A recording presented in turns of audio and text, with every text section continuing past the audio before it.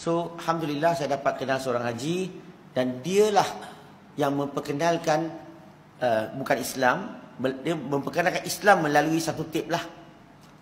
Tip debat antara Ahmad Didat dengan Jimmy Swaggart. Kenal tak Syekh Ahmad Didat? Tokoh perbandingan agama Islam Kristian yang bagi saya yang paling hebat di dunia mengikut zaman berdasarkan zaman elektronik.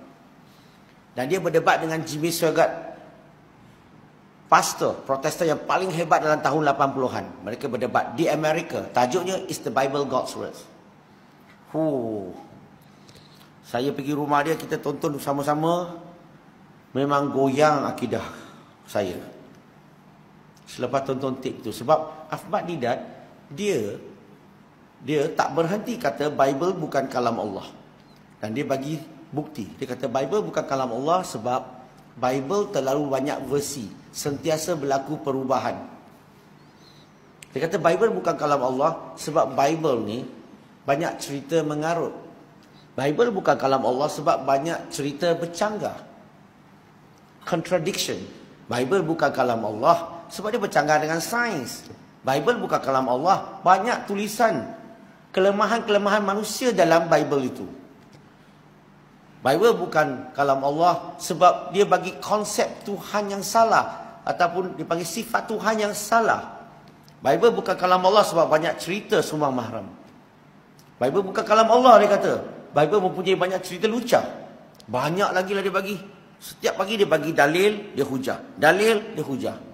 Saya tak pernah dengar perkara-perkara sedemikian dalam hidup saya. Walaupun saya dalam Kristian 13 tahun. Bila saya dengar, memang goyanglah akidah. Oh, orang Kristian pun ada akidah banyak main-main. So, saya tak puas hati, saya minta haji itu, boleh tak saya pinjam tip itu? Saya nak balik, tengok lagi tip itu. Sekali lagi, saya nak buka Bible, check. Tengok itu orang Islam. Eh? Syekh Ahmad Didat, dia cakap betul ke? Tipu punya. So, balik rumah, buka kitab, check. Setiap hujah yang dia dakwa, memang ada nas, memang jelas, memang betul. Saya nak marah tak tahu nak marah kat mana. Lepas tu, apa saya buat? Saya tengok tip belakang tu. Wow, ada 89 tajuk. Debat, lecture, dialog. So, saya pun belilah tip semua tu. Setiap tip, satu debat, sekurang-kurangnya dua atau tiga tip. Satu tip ni biasanya harga 35 hingga 48 ringgit. Satu debate 100 lebih ringgit. Hari ini you, you pergi YouTube semua free. Betul? Time tu kena beli 89 tip lagi. Uh, tajuk lagi. So saya beli semua. Saya nak kaji. Pedekkan ceritalah selepas kajian 2-3 tahun. Saya baru yakin, baru jelas bahawa Bible ni bukan kalam Allah. Bukan. Tetapi Bible ni mengandungi 1 atau 2% kata-kata Allah. Can you understand this? When I say Bible as a whole is not the words of God, but Bible do contains the words of God, one or two percent. So daripada kajian saya, saya bagi sedikit apa yang saya jumpa lah. Mungkin kamu semua pernah dengar. Saya skip a little bit. Yang buat saya susah nak terima adalah konsep Tuhan mereka. Contoh eh, kalau kita baca Bible, Genesis chapter number 2, verse number 2 and 3. So dalam Bible dia sebut, And God created the heaven and the earth in six days. But on the seven days, God rested. Dia bila Tuhan cipta alam enam hari, hari yang ketujuh, penat, perlu berehat. Mereka bagi sifat manusia kepada Tuhan. Tapi bila kita hujah dengan dia, dia pusing. Dia kata rehat di sini bukan rehat. Maksudnya Tuhan berhenti daripada mencipta. Wow. Pusing lagi kan?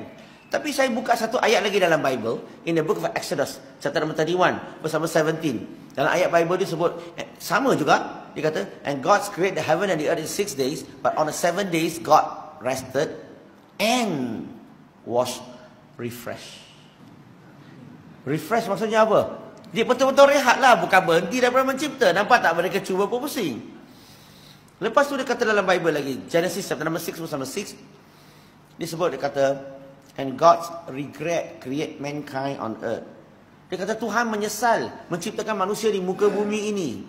Ay, Tuhan menyesal So dia punya konsep Tuhan macam Tuhan dah cipta, Tuhan tak ada ilmu masa depan, dah cipta, ayah silap cipta manusia di muka bumi ini. They have the kind of concept. Dia bagi dia bagi sifat-sifat Tuhan yang salah. Sifat manusia dia bagi kepada Tuhan. Dalam Genesis chapter tadi itu, satu lagi, Tuhan dia datang ke bumi, turun ke bumi bergusti dengan Nabi Yakub alaihissalam. Kenal tak Yakub alaihissalam? Yakub orang putih panggil apa? Jacob. Tambah krim crackers. So Tuhan bergusti dengan Yakub alaihissalam dan Tuhan kena kunci. Biasa belajar silat tak? Kunci kan? Akhirnya bila Yakub alaihissalam dia menang tau. Dan diberikan nama Israel. Apa maksud Israel? Israel Azan ke? Kita bagi lalu azan dulu.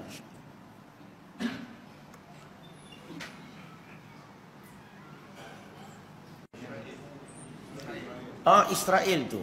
So, Tuhan bergusti. Akhirnya Nabi Yakub eh, Nabi Yakub alaihissalam dapat gelaran Israel. Apa maksud Israel? Hamba Allah. Maksudnya Abdullah. Kamu semua ni Israel. Betul tak? kita semua ni Israel hamba Allah lah maksudnya okey so bila mereka bagi sifat-sifat Tuhan macam ni susah nak terima saya bagi satu contoh lagi lah kelemahan manusia dalam tulisan dalam kitab tu. Kelemahan manusia can you imagine? Human error is in the bible. Contohnya kalau kita baca Genesis chapter 21 bersama 14 15 16 17 ayat dalam kitab bible tu dia menceritakan tentang Ibrahim alaihissalam. Pada usianya pada usianya uh, 86 tahun isteri keduanya Hajar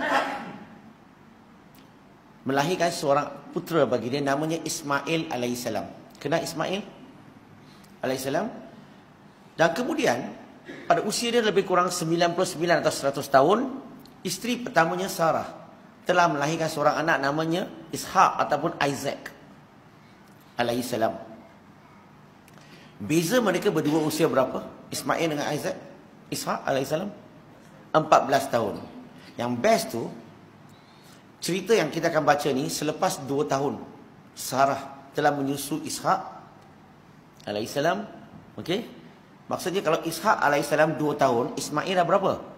16. So pagi itu, mengikut ayat Bible tu, Ibrahim AS halau isteri keduanya dengan anaknya. Hajar dengan Ismail AS. Dan bagi dia makanan dan sebotol air. Dan letak budak tu di atas bahu ibunya dan jalan di padang pasir. Pengarang tu dah lupa. Dia ingatkan Ismail AS 2 tahun. Dia sudah 16 tahun. Nah, mana ada orang ibu ah dokong anak dia letak bahunya 16 tahun jalan di padang pasir. Dan kalau kita baca lagi, ayat itu sebut apa? So bila makanan minuman dah habis, Hajar letak budak tu di bawah pokok. Sebab dia tak sanggup nak lihat budak tu mati. Maksudnya dia memang baby dekat tahu satu dua tahun lagi budak kecil lagi. Tapi dia pengarang yang tulis tu lupa. Padahal pada masa itu Ismail AS sudah 16 tahun. Ini dipanggil kelemahan kesalahan manusia dalam kitabnya. Banyak lagi ada. Pendekkan cerita, selepas dah kaji, memang saya tak bolehlah kekal dalam agama Kristian. Saya tak nafikan orang Kristian beramai yang baik-baik. Tapi kepercayaan kitab dia bukan kalam Allah. Saya terpaksa tinggalkan. Akhirnya, saya mula buat kajian tentang Islam.